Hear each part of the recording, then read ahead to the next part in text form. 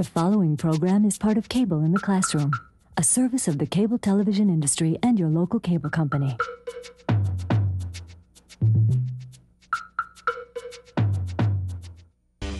I'm here with Dan O'Brien, winner of Olympic gold in the 96 Olympics for the decathlon, world's greatest athlete. Dan, has the breakup of the Soviet Union affected your training program? No. It's just we keep hearing stories about how athletes have a hard time getting funding in Russia. That hasn't affected you? Nope. So you'll be ready to represent Russia in the 2000 Olympics in top form. I'll be representing the United States. Wow, so he's leaving his homeland to come and represent the United States. I'm an American. Ah, but it says right here that you're from Moscow. Moscow, Idaho, USA. Uh, okay, uh, we'll be right back.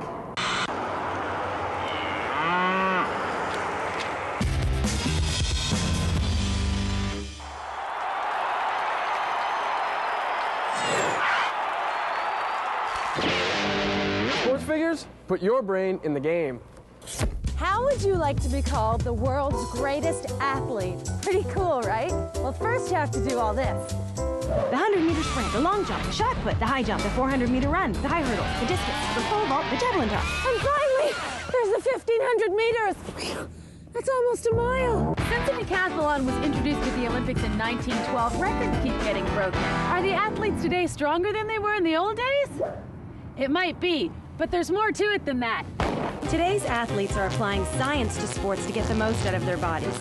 What could science have to do with running and jumping? Well, for all the different events in the decathlon, they all have one thing in common. Bodies in motion. A runner's a body in motion.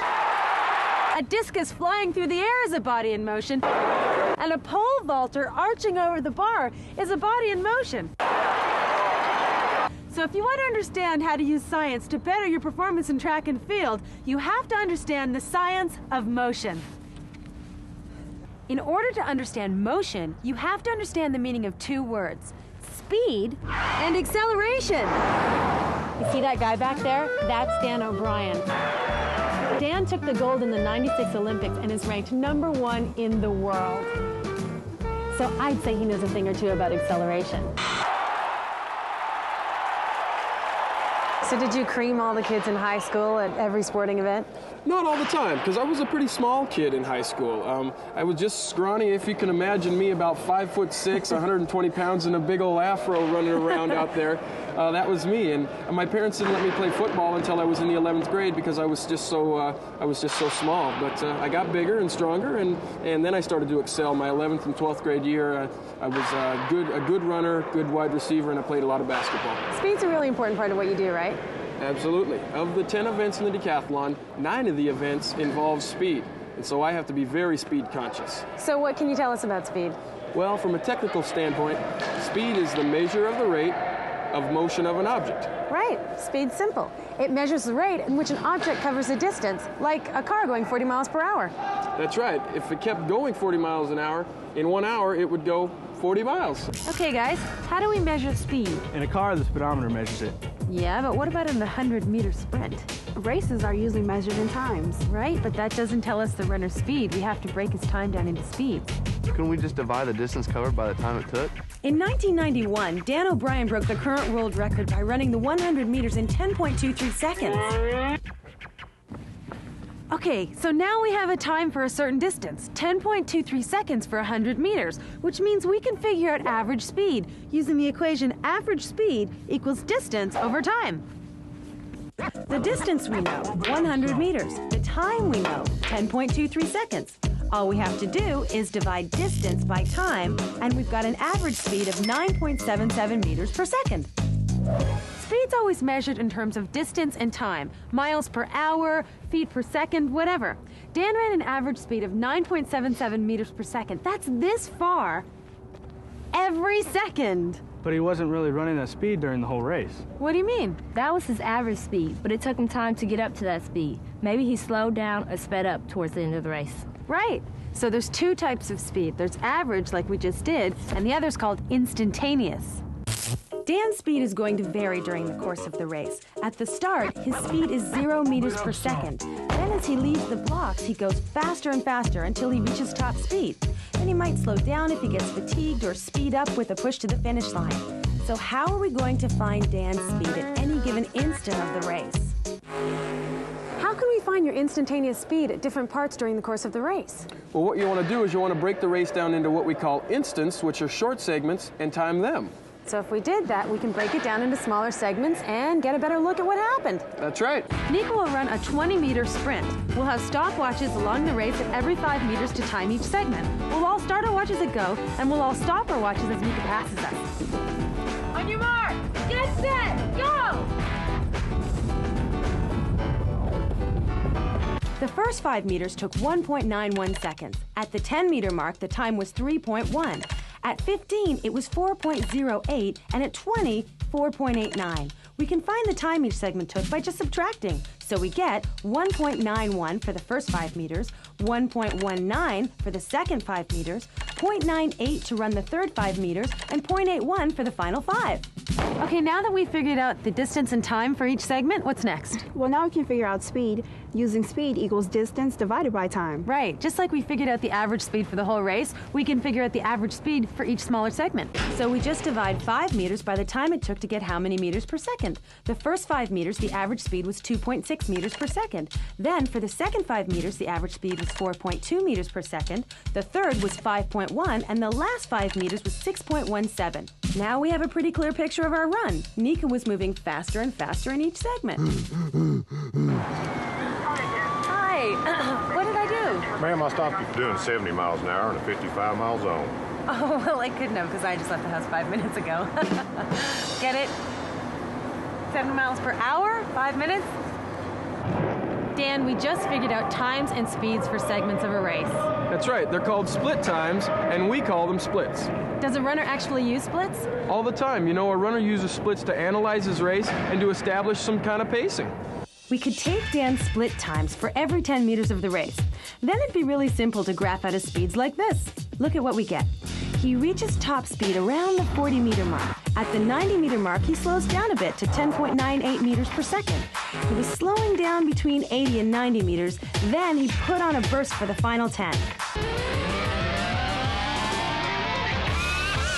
So what can we tell about Dan's speed from our analysis of the 100 meter sprint? He was going faster and faster. And what does it mean when an object goes faster and faster? He was accelerating. Exactly right. Acceleration. Anytime we change our speed, we're accelerating. Faster, that's positive acceleration. Slower, that's negative acceleration. Talk about acceleration in terms of time. Acceleration is the rate of change of speed. How long something takes to change speed. Look at the first 40 meters of Dan's race. He was accelerating, and we can figure out his rate of acceleration. Dan accelerated to his top speed of 11.36 meters per second at about 40 meters. To figure out his average rate of acceleration, all we have to do is take the change in speed, 0 to 11.36 meters per second, and divide it by the time it took, like this. Acceleration equals change in speed over time interval. Simple. How do we figure out at what rate Dan's speed changed from 0 to 40 meters? His change in speed was 0 to 11.36 meters per second, so it's 11.36 meters per second. Just divide that by 4.91 because that's how long it took, and you will find his average acceleration. That's uh 2.3. Yeah, but 2.3 what? Hey, Dan, we figured out your average acceleration is 2.3, but 2.3 what? You divided speed by time, right? All right, so here's what you got. Your speed was meters per second, and your time was in seconds. So your answer is meters per second per second. Hmm?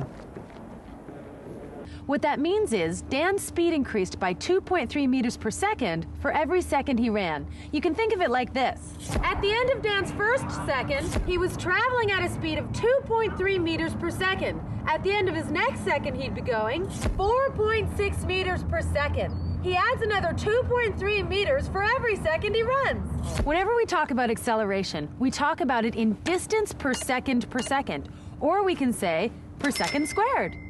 So what help would seeing a chart of your acceleration be to a runner? Well, they would know their strengths and weaknesses. If they didn't get a very good start, they would know that they would need to accelerate faster later.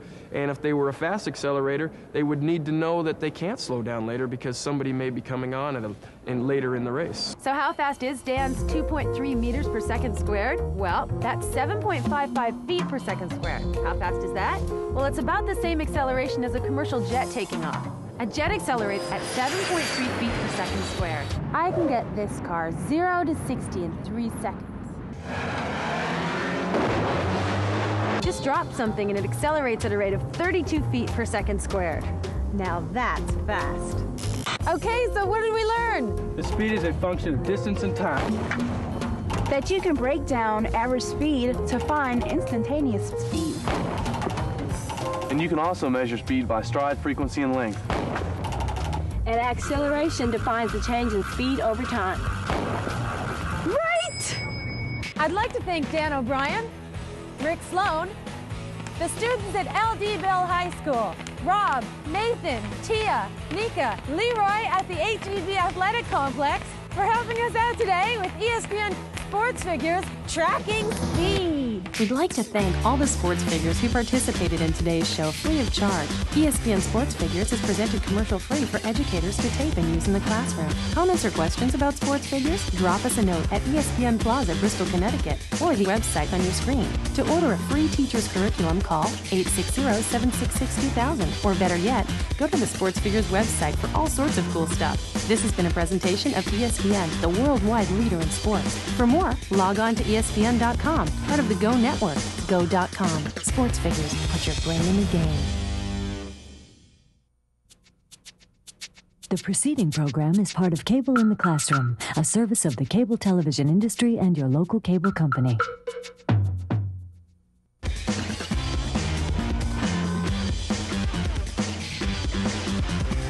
ESPN Sports Figures presented by Go Network.